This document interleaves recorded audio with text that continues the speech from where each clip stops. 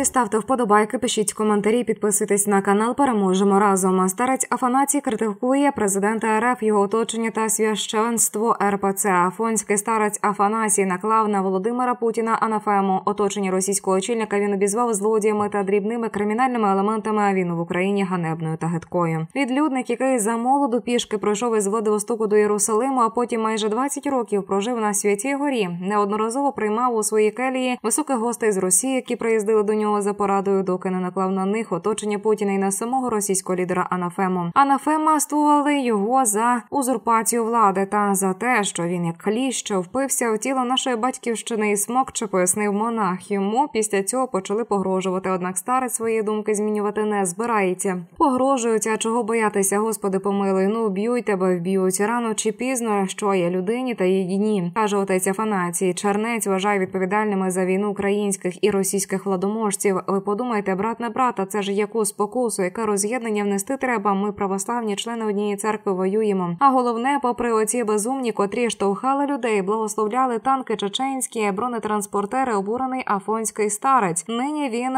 покладає надію не на політиків, а на простих людей. каже саме вони можуть знайти справжній шлях до примирення. Перше припинити злостувати один одного, хоча б на побутовому рівні, всіма силами гасити ненавистя, тому що відродити до життя наш народ може тільки любов, пояснив він. Крім того, старець говорить, що велике місто Харків найближчим часом чекає страшна війна. Втім, місто вистоїть, але омиється ріками крові. Зазначимо, цілий тиждень афонські монахи говорять про перемогу України, про смерть Путіна. Звертаються зі словами підтримки щодо України, говорять про мир. Однак і один із монахів, який виступив за Росію, сказав, що атрічі отца гори і Бога через свою віру в Путіну. Загальним синодом було вирішено вигнати ченця із храму та депортувати в Росію. Карма прилетіла. Паралельно з цим один із афонських монахів бачив віщий сон про смерть Путіна, передбачив долю України та запевнив, що скоро закінчується війна. Зараз він вперше ділиться новим віщим сном та подальшими передбаченнями одному із довірених журналістів, коли закінчиться війна. Це питання зараз хвилює весь світ. Мільйони людей хочуть дізнатися та намагаються прорахувати. Мені ж наснився сон, що війна закінчиться, коли Путін загине. Його смерть буде трагічна. Це не вбивство. Також прошу прошу бути обережними генерала з України. Після Пасхи смертельна рана чекає на рицаря. Можливо, мова може йти про залужну знову Путін і хворопа щось інше, а можливо, божевілля. Проте до цього він доведе себе саме президента Російської імперії. Я називаю карлик однобічний, бо коли він йде, то однією рукою не хитає, але це з одного боку не ворушиться взагалі. На мою думку, це і призведе його до смерті. Він вже хворий. Повномасштабне вторгнення закінчиться в березні або ж на початку квітня, та потім. Потім ще будуть диверсії хворих москалів, яких засадили в Україну з метою знищення буде повна очистка країни від цих іродів. Задає слова Сої Космодіянської. Вона ж казала, що закінчиться війна, коли настане весна. І ці слова в моїй голові постійно. Після віщо сну про смерть Путіна я читав молитви до Бога. Вони підтвердили, що московський путлер загине трагічно. Потім за молитвою я виливав віск на нього. Карликові стояв хрест великий. Йому предстоїть передчасна трагічна смерть. Крім того, президент Зеленський піде поста, і його місце займе військовий. До зустрічі, друзі. Ставте вподобайки, пишіть коментарі, підписуйтесь на канал. Переможемо разом.